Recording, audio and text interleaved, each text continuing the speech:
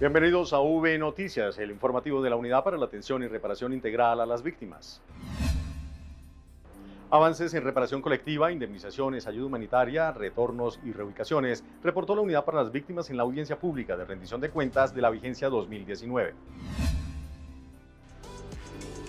El director, la subdirectora, el secretario general y cada uno de los directores misionales de la entidad le contaron a la ciudadanía la gestión adelantada por la unidad para atender, asistir y reparar de manera integral a las víctimas del conflicto en la vigencia pasada. Tuvimos la oportunidad de contarle a las víctimas, de contarle al país, a todas las entidades que nos acompañan en la realización y en el cumplimiento de la ley 1448. La audiencia de rendición de cuentas también fue el escenario para dar a conocer las acciones implementadas por la unidad para las víctimas durante la emergencia sanitaria generada por la COVID-19.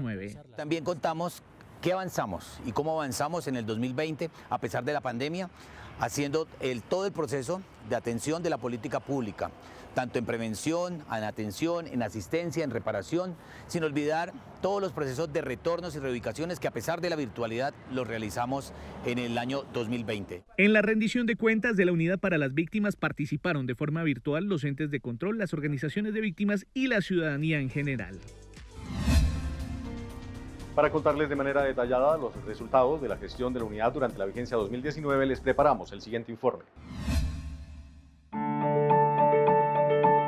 La Unidad para las Víctimas lidera acciones del Estado para atender y reparar a las víctimas de manera integral y así contribuir a la inclusión social y a la paz. Entregamos 86.432 indemnizaciones administrativas a 79.668 personas por un valor de 655.010 millones de pesos. Cumplimos la implementación de 12 planes integrales de reparación colectiva en su totalidad así como 349 acciones reparadoras que beneficiaron a 107 sujetos de reparación colectiva. Recibimos 519.965 peticiones, quejas, reclamos, denuncias y solicitudes en procura de mejoras. La Unidad para las Víctimas durante la vigencia 2019 trabajó de la mano de las comunidades y las entidades del Gobierno Nacional para el cumplimiento de sus metas. Seguimos trabajando por la atención y reparación integral de las víctimas del conflicto. En el segundo diálogo de reclutamiento y utilización de niños y niñas y adolescentes en el conflicto armado, el director de la Unidad para las Víctimas exhortó a los miembros de la extinta guerrilla de las FARC a que cuenten la verdad sobre este delito.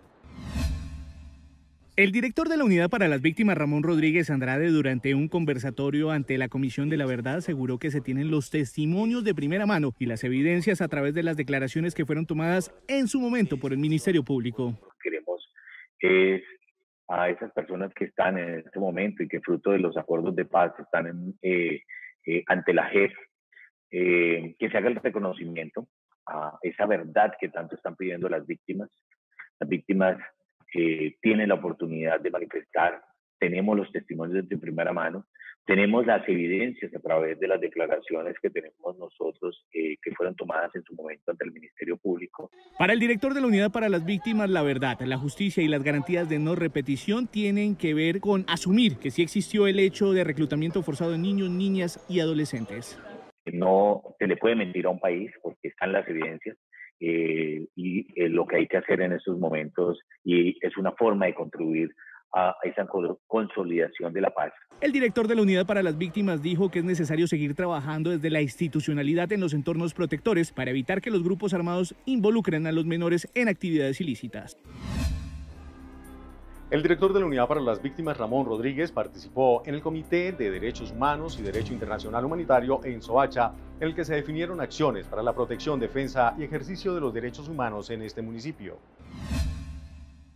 Con la firma del Pacto por los Derechos Humanos de los habitantes de Suacha, finalizó el Comité Municipal de Derechos Humanos en el que se fijaron acciones para la prevención, protección y defensa de los derechos de los habitantes de este lugar. Atraer la oferta por parte del gobierno nacional hacia Soacha, la articulación de todas las entidades frente a una necesidad que hay de fomentar los derechos humanos en el municipio de Soacha. Carlos Acevedo, vocero de la Mesa Municipal de Víctimas de Soacha, pidió ante los asistentes mayor inversión social para este municipio, que es considerado el principal receptor de población víctima del país. Tenemos es que unirnos y generar proyectos de desarrollo sostenible en este país para que Colombia pueda vivir mejor y pueda vivir en paz. Durante el evento, la consejera presidencial para los derechos humanos Nancy Patricia Gutiérrez insistió en la importancia de la protección a los menores a posibles casos de reclutamiento por parte de grupos armados en este municipio. Para mejorar la atención y facilitar los pagos a las víctimas en todo el territorio nacional, la unidad viene estableciendo más alianzas con entidades financieras. El director de la Unidad para las Víctimas, Ramón Rodríguez Andrade, anunció un nuevo convenio con el Banco Popular con el propósito de facilitar los pagos a las víctimas del conflicto por medio de una cuenta bancaria. Hoy podemos decir que logramos superar las 3.000 eh, bancarizaciones con el Banco Popular. Eh, también hicimos bancarización para pagos de indemnizaciones por vía judicial a través del Fondo de Reparación a Víctimas. Fueron 128 bancarizaciones pero vamos a llegar a, más de 3.000 bancarizaciones a través de este aliado. El director de la entidad explicó por qué es importante este proceso. ¿Por qué es importante la bancarización?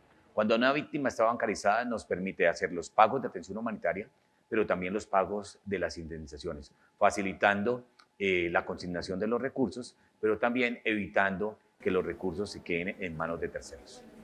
Ramón Rodríguez Andrade dijo que en los próximos días se darán a conocer nuevos convenios con otros bancos para fortalecer la bancarización de las víctimas del conflicto.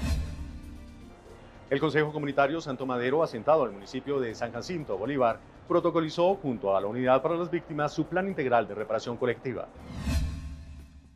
El director de la Unidad para las Víctimas, Ramón Rodríguez, le dio apertura a la Asamblea de Protocolización del Plan Integral de Reparación Colectiva de las comunidades negras de Santo Madero. Podemos decir que estamos entregando ya la protocolización de este plan que nos permitirá a partir del próximo mes hacer todo el proceso de eh, implementación de las medidas que están contempladas en el plan. Este Consejo Comunitario, conformado por 1.291 habitantes, inició su proceso con la Unidad para las Víctimas en el 2014 con el reconocimiento como sujeto de reparación colectiva y luego con el cumplimiento de las fases de alistamiento, instalación de la consulta previa, caracterización del daño y la formulación del plan. La comunidad está muy esperanzada en este proceso de reparación colectiva porque ve en el proceso la oportunidad de surgir después del conflicto armado. Con esta formalización se avanza en la segunda fase para la implementación de las acciones concertadas en espacios participativos con los miembros del Consejo Comunitario. La Unidad para las Víctimas participó en la visita técnica a la comunidad del pueblo en Verachamí de Bugalagrande, en Valle del Cauca, donde solicitó la reubicación de la comunidad. La Unidad para las Víctimas estuvo con la comunidad del resguardo en Vera Chamica, que Gama, reconociendo y verificando los territorios que les entregó hace dos años la Agencia Nacional de Tierras. Se reunió para comenzar el proceso de concertación comunitaria hacia la construcción conjunta de su plan de retornos y reubicaciones.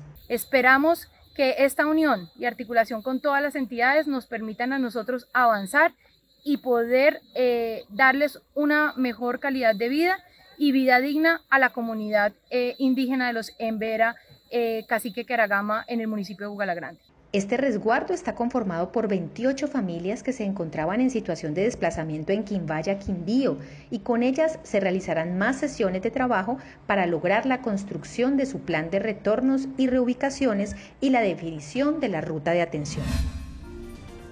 Hasta aquí el informativo V Noticias. Muchas gracias a las personas que nos escriben a diario. Recuerden que pueden seguirnos en nuestras redes sociales a través de Facebook, Instagram, YouTube y Twitter con arroba unidad víctimas. Hasta pronto.